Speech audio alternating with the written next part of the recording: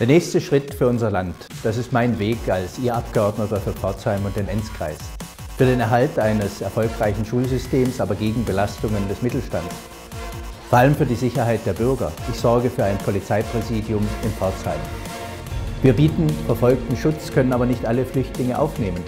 Eine Stimme für die FDP ist eine Stimme gegen die naive Einladungspolitik der Kanzlerin. Mit Hans-Ulrich Rülke den nächsten Schritt für unser Land gehen.